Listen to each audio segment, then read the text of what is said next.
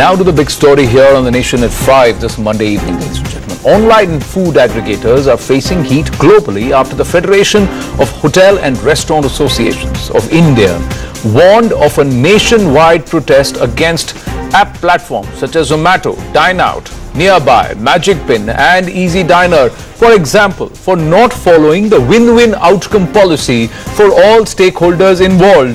They say, no, it is not Paisa Vasool for us. It may be for the consumer, it may be for you, but not at all for us because you promised us a lot of footfalls, you promised us a lot of traction, you promised us high net, high net worth individuals, etc., etc., etc. But it's all there only on paper. We are not seeing it happen.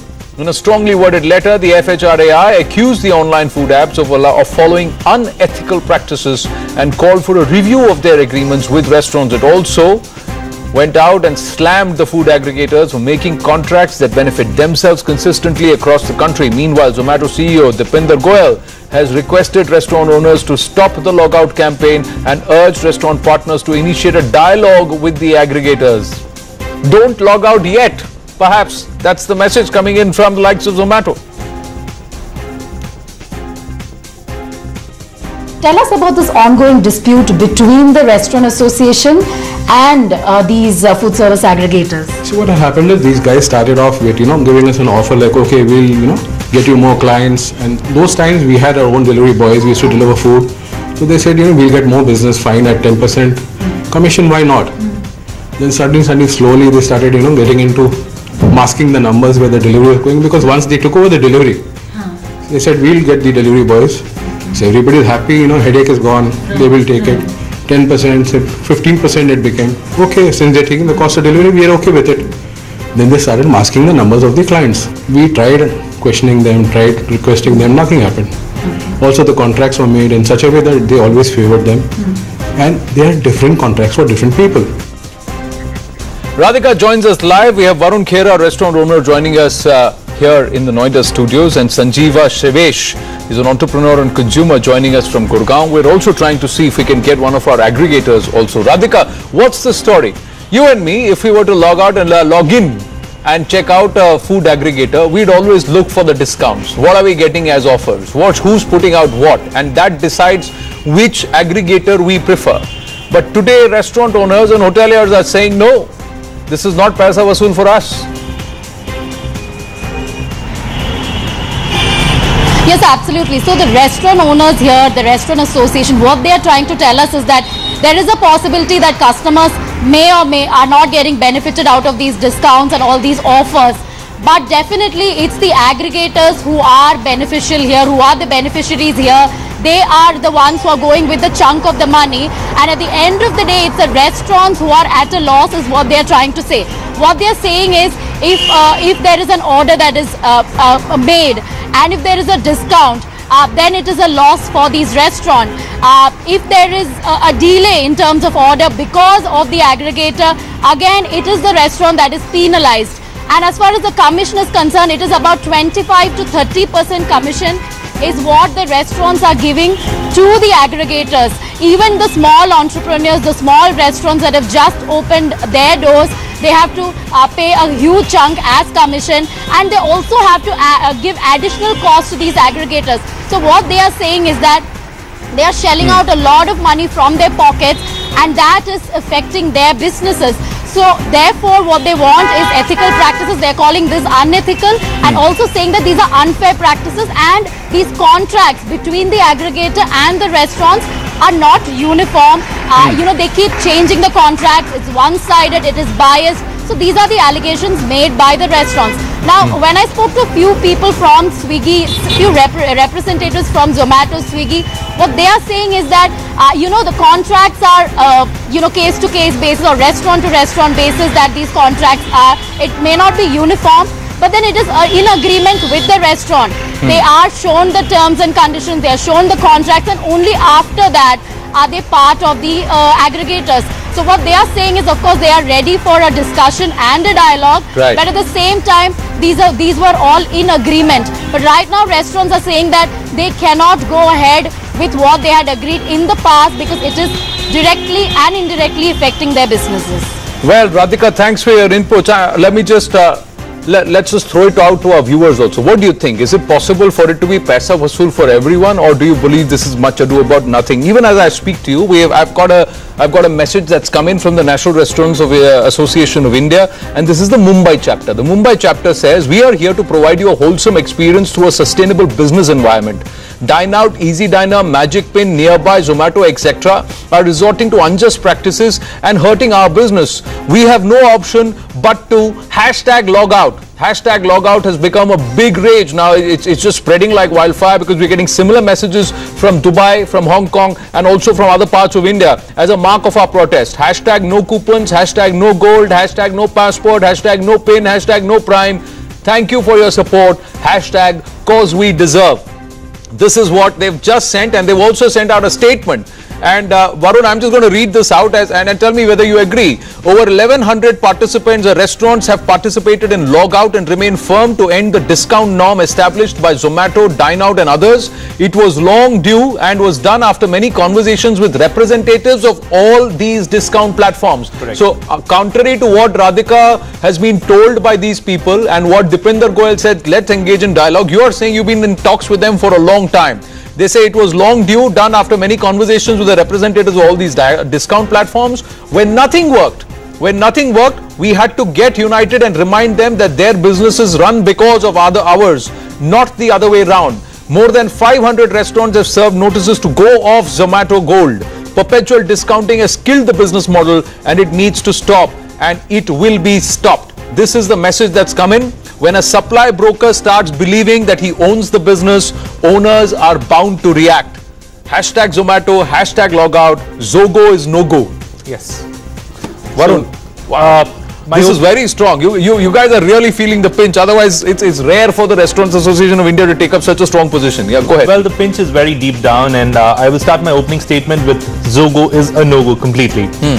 Uh, when the whole system of uh, Zomato Gold started from mm. Zomato was uh, that you know there will be around 5,000 uh, people who will be coming down to your restaurants mm. approximation and uh, they will be selling the Zomato Gold to them who will be having a little high net worth uh, value and yeah. the billing will be more and that's how giving one dish complimentary with one membership will be a very win-win situation. Mm. The product was new, it was sold very well to us and we hmm. thought that why not because you know having the kind of uh, Zomato, the kind of hard work which these guys were doing initially. Right. Must be something nice which would have been benefited and right. would have created a win-win scenario. Correct. However, where it started, uh, it started on an upswing, but later on, uh, we actually thought that, you know, and we saw that the amount of goals which were getting unlocked were massive. Mm. Pilferage was starting happening because anybody and everybody was started showing us the Zomato ID, which was not even a valid ID, it was not even ticking, and there was massive issues at the operations end, and it was running into massive losses for mm. us. Okay, I'll get to the in just a bit. I've got callers also. Can it be Paisa Vasool for everyone? Mayur from Mumbai with us already on the phone line. Uh, Suresh from Kochi also logged in and then he's logged out. Don't log out with uh, on Nation at 5, Suresh. Get back on the phone. We need you. We, we want to know what your point of view is. Yes, Mayur, go ahead, please. Hello. Yes, Mayur. Hello. Uh, see, in our area, one restaurant is there. Hmm. They are sending to uh, Zomato or Swiggy, they are charging 180 rupees per plate. Hmm. Otherwise, uh, the same plate is getting in 120 rupees. Huh. So, they, uh, yes, the Swiggy and Zomato, they are charging more and they charge us 25 rupees delivery charge. So mm. 150 rupees per plate original in the restaurant. The mm. same restaurant sending to the uh, right uh, is actually charging more. So they charging 180 rupees. So मयूर भाई आप तो कह रहे हैं आप कह रहे हैं कि उल्टा हो रहा है कि स्विगी जोमेटो से पैसा कम नहीं हमको ज़्यादा देना पड़ रहा है if I go to the restaurant order from it directly it is falling for it I find it cheaper before I come back to you, Varun, to get to get the economics of it, Sanjeeva Shivesh. Sanjeeva, where do you stand on this? Yeah. Look, uh, there are two parts to it, and uh, I have both the sub parts. Hmm. First, uh, uh, I have been a consumer and a beneficiary of all the, whether it's uh, Gourmet Passport or Zomato Gold or hmm. or Easy Diner, hmm. and uh, have been an active user and have used it for all my business meetings all through the day, hmm. almost five times a month hmm. for the last three four months, or hmm. maybe five six months. So uh, if restaurants log out, uh, you know, I have to end up paying more. But I think the core to this is there are two uh, uh, serious issues uh, which we need to understand. One, it is also a ramification of economy which is sort of petering out and which is why less and less people are visiting uh, restaurants. More you know so that's why zomato and all the other guys are not able to fulfill. Number two i think all the uh, all the uh, e-commerce uh, all the e-platforms uh, digital platforms today are facing the heat of having drawn so much money from the investors and they have to show returns. Now if uh, you know and, and that's why they uh, uh, laid out this scheme and sold to all the restaurants owners. And in their own wisdom restaurants owners signed uh, they were trying it out and it's not working then they're logging out. But what Zomato is telling us is they have got 100,000 restaurants. If 1200 goes uh, it's not much उनको फर्क नहीं पड़ता that's what they're there saying are still 98,000 odd restaurants in so, the so city. they're saying you're just 1100 they're still 98000 how does it make a difference now varun i'm trying to see if we can get the founder of chefin on skype with us abhijit jai should join us any moment now callers welcome to call in yes varun tell me how would you respond to what sanjeeva Shiv, uh, shivesh just said he said that way because there is an overall drop in footfall you are feeling the pinch otherwise you wouldn't have complained Uh, no, it's not like that. Uh, the, the footfalls are, are actually in, on an increase. On an we, increase. We, we are not saying that the footfalls are decreasing.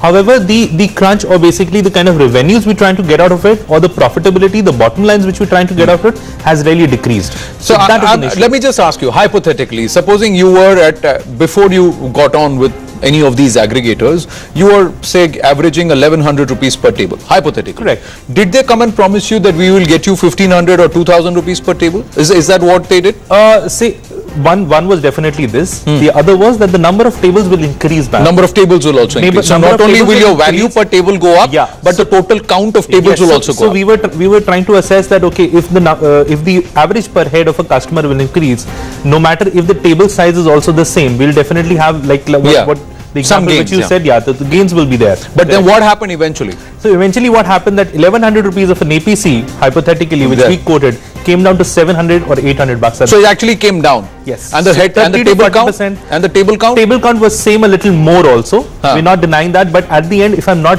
earning from the table count then it is of no use because operationally it's an issue for um, for me to serve more tables with more discounts and not actually will be able to handle tables which are actually paying me on a regular basis Right. Another restaurateur actually made the allegation. We we uh, we put out his uh, tic tac when he spoke to uh, Radhika in Mumbai, where uh, Dilip Datwani, and he's saying that they would even fudge the numbers. Yes. Fu- Fudge the. How would they do that?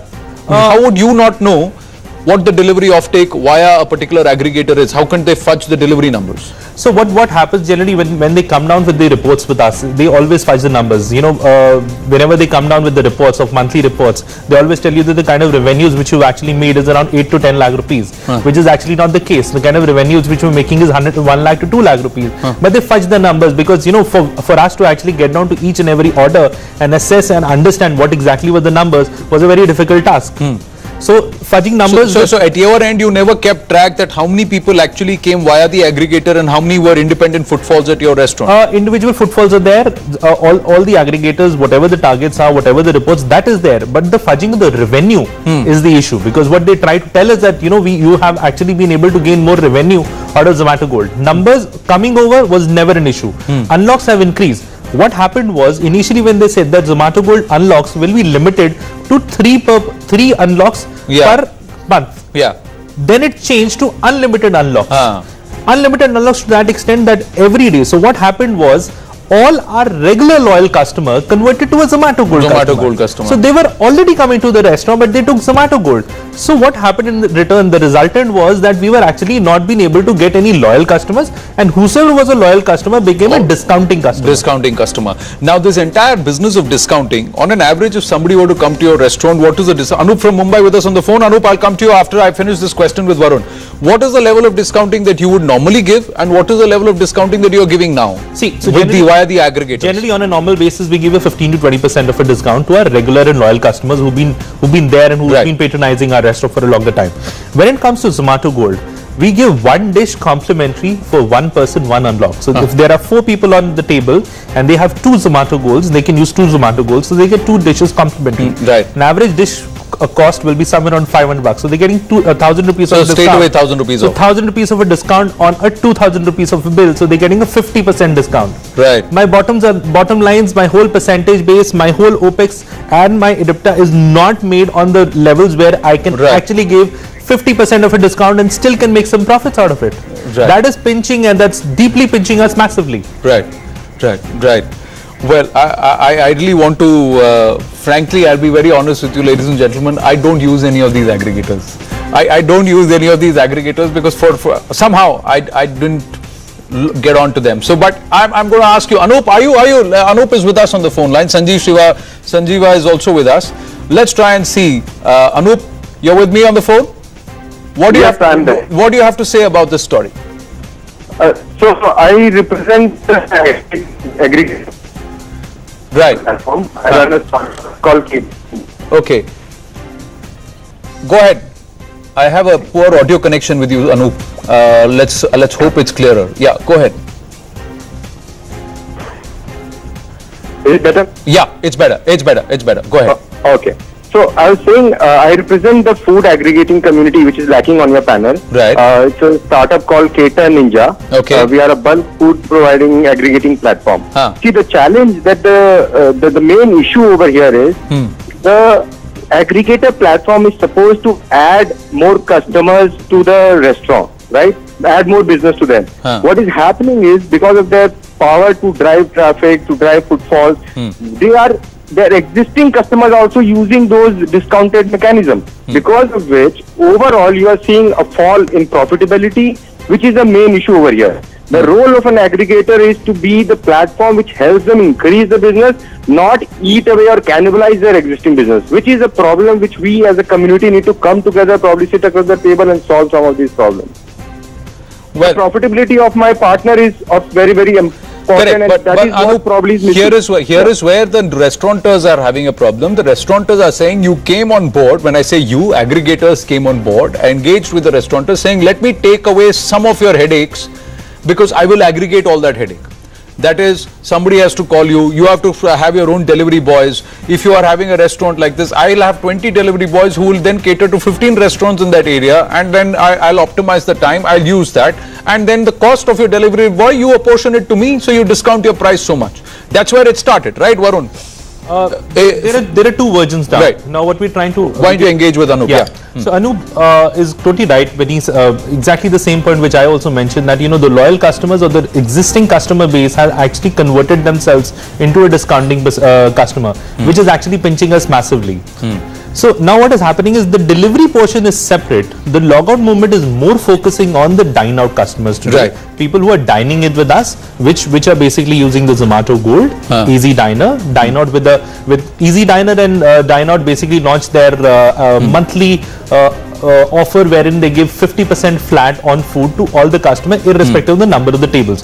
Though the number of customers which we deal with on a uh, on a daily basis definitely are lower, Right. still at the same time uh, the general consensus, the whole brand value of a particular brand goes down when we actually shout out to the customers that we're giving a 50% discount. Hmm. So the whole consensus, the customers have actually started feeling that, you know, the, the kind of margins which a restaurant is making is massive. Hmm. So the whole sentiment towards a customer is that, you know, he can definitely give me a 50% discount. Hmm. Why, why not he will be able to give me on a general basis the 30% or a 35 or a 40% discount because they say when you can give it to Dine when you can give it to Zomato, why can't you give it to us?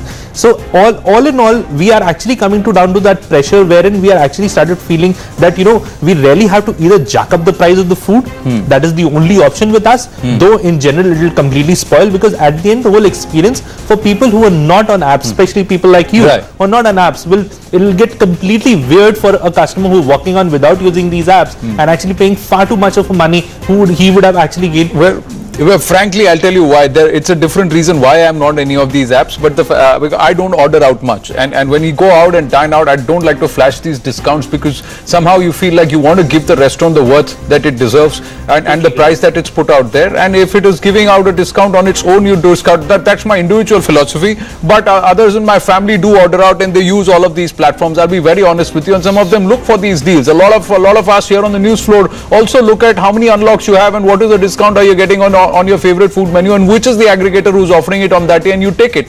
Maybe from the same restaurant, different aggregators have different rates sometimes. Yes, Sanjeeva, go ahead please. Anup, I'll come to you after that. Yes, Sanjeeva. How do we resolve this? The idea is not to create confrontation, but to try and create, uh, you know, a cohesion where everybody gains out of this. Correct. Win-win From, from, from consumer to provider to aggregator. Yes, Sanjeev. I think there are there could be two or three. Uh, look, look from consumer point of view, it was great deal, and I agree with uh, everyone on the panel saying that uh, you know a regular consumer would convert into a discounted consumer, and I think that's a problem that all of us need to address.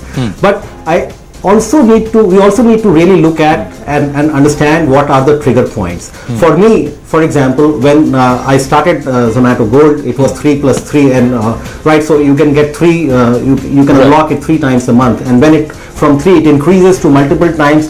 And then uh, they had this uh, infinity scheme which sort of all the so so what happened was slowly all the uh, e-commerce uh, or the e-platforms they sort of pushed everyone and the restaurateurs where uh, where, where the balance tilted more towards uh, Zomato and Easy, Easy Diner side rather than the uh, restaurateur side. But uh, uh, here one important point Uh. because uh, you know I have been using uh, these uh, these deals Uh. essentially at higher end restaurants which are uh, you know very expensive and these deals really work out right, Right. so uh, I would disagree that deals are really 50% less. On average, to a consumer, it's about 25% less. Right. Now, if these guys are saying that they easily give 20% discount to regular customers, I think there's a way in which uh, we are very close to negotiating. But you know what? The, the these f- guys fact really is, need to sit on the Sanjeeva. Let, let's also get let let also let's also get Yeah. this clear, Anup, and to all our viewers. The fight uh, right now is not about the food that we order in. Into, into our place from the restaurant. It is Right. about when you go and dine at the restaurant. It's, about the dining out part, the dine out part where the conflict Yeah. is right now because what was promised as dine out, the number of tables that would happen in terms of volumes and also the value per table. These have not benefited the hoteliers. Varun and then Anup. Uh, because I the- can tell another you, I another can of our, tell you another very of our clearly, most of the times Another another of our sorry another of our viewers just is one asking the brief question point. how is it that direct order via restaurant sometimes is cheaper than Doma- uh, Zomato how can that happen one of our viewers also said the same thing uh, somebody within our team inside the PCR is also asking the same question ऐसा कैसे हो सकता है कि Zomato से order करता हूँ महंगा होता है direct restaurant को phone करता हूँ तो सस्ता होता है that's also a reality but the, the the whole argument right now is not about ordering in to your house from a restaurant but to go to a restaurant and dining out that's where the conflict is Varun and then uh, final round yes so then I'll go back to Anup. Logout Yeah. movement is actually uh, more like a revolt which has happened from the restaurateur side in, a, way, in a subtle way. Right. Now what has happened is apart from Zomato Gold, Right. the 50% by Dine Out, 50% on a monthly basis by Easy Diner. Right. That, uh, Zomato uh, you know launched a, a product Right. called Zomato Infinity wherein they gave the liberty to customer by paying let's say a 600 rupees of an amount Right. and eating one and a half hours unlimited food at a restaurant Right. understand to a plight of a restaurant and operationally it could have been hazardous for us to serve a customer with 600 rupees all unlimited food Yeah. at for one and a half uh, hours Right. It was an ult- ultra difficult scenario because zomato was going in all end to Well, basically uh, exploit us and abuse us in every way Sorry, I am. I'm, I have paucity of time. We have big news coming in. As I speak, as I speak, uh, we've got another big news update coming through. Now, sources are telling telling us here at this point on CNN News 18 that General Qamar Javed Bajwa of Pakistan, the Pak Army chief.